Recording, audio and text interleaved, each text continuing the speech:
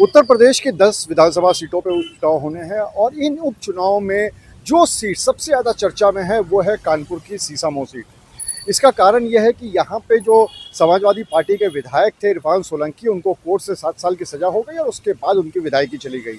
लेकिन उससे ज़्यादा इस बात की सीट पर मारा मारी मची हुई है कि आखिर इस सीट पर किसको टिकट मिलेगा।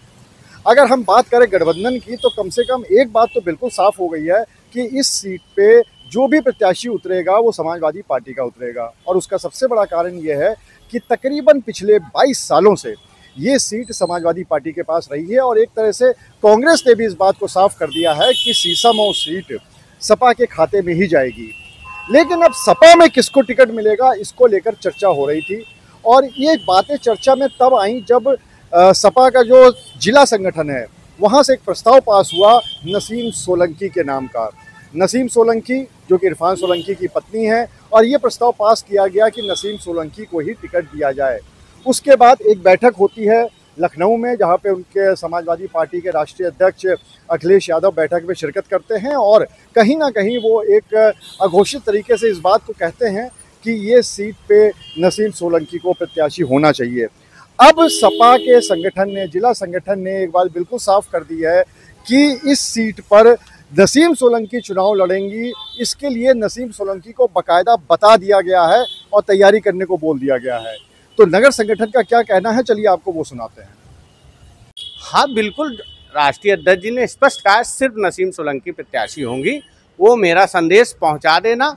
हम लोग गए थे उनके घर पे, उनसे बोला है कि राष्ट्रीय अध्यक्ष जी ने हम लोगों को भेजा है और उन्होंने निर्देश दिए कि आपको चुनाव लड़ना है।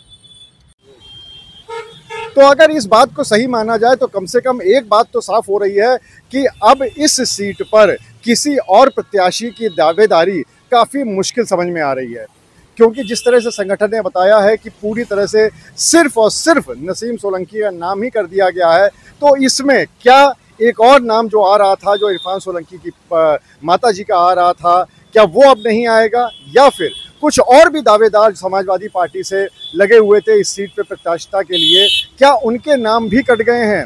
लेकिन ये सारी बातें तभी पूरी तरह से साफ़ हो पाएँगी जब इस सीट पर और बाकी सीटों पर चुनाव घोषित हो जाएँगे और उसके बाद समाजवादी पार्टी की तरफ़ से आधिकारिक तौर पर प्रत्याशी का नाम घोषित होगा। लेकिन अभी तक जो संगठन की बात सुनाई पड़ रही है, उससे तो कम से कम यही लग रहा है कि नसीम सोलंकी का टिकट लगभग इस सीट पर फाइनल हो गया है।